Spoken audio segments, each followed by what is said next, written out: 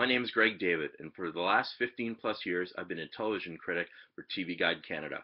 I'm thrilled to be partnering with Diane Wild for the relaunch of TVA. The tagline for TVA is What's Up in Canadian Television, and in short, there's a lot, and we're proud of it. There are tons of websites out there that cover TV, but we're unique in that we'll cover just the Canadian stuff. It'll all start in August with a visit to the set of Murdoch Mysteries, followed by the rollout of Fall Preview, where I'll feature the new and returning Canadian series on television later in the month and into September and October. As we get going, I'll visit the sets of other Canadian made television series, and I'll be attending the Canadian International Television Festival, where I'll get the latest scoop on what's coming up with the characters on your favorite homegrown television shows, as well as a look forward at industry trends and what the next hot genre could be. I'll be spotlighting important events like the Canadian Screen Awards and Writers Guild of Canada Screenwriting Awards, that celebrate and foster talent in this country.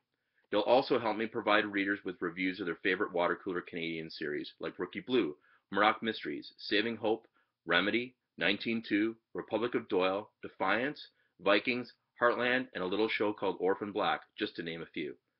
Who are the upcoming superstars of Canadian television? What really goes on in the spun out writer's room?